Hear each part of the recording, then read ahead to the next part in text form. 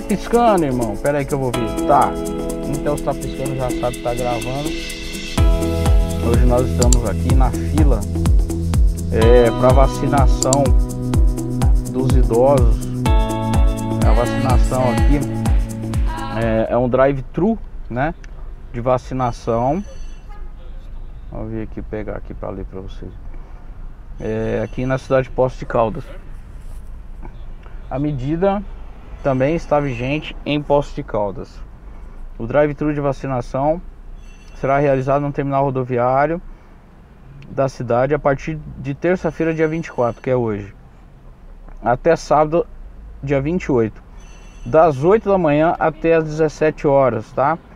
É a vacinação é, da gripe, tá? Contra o vírus influenza. Então, pessoal, você que tiver aí um parente aí, né, que, que se enquadre na nessa categoria aí, o idoso, né? Pode trazer aqui. Vamos ver aqui, ó. Posto de Caldas aposta em vacina drive-thru para imunizar idosos contra a gripe. Campanha nacional de vacinação começou na segunda-feira. A cidade também divulgou postos que farão a imunização.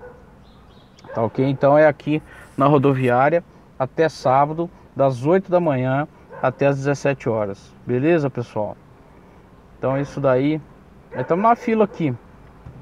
Eu tô com aqueles furos no banheiro ali. Eu tô com o meu sogro com a minha sogra para poder vacinar, beleza? Então é isso aí, fique com Deus, que Deus abençoe a vida de vocês sempre. Tamo junto.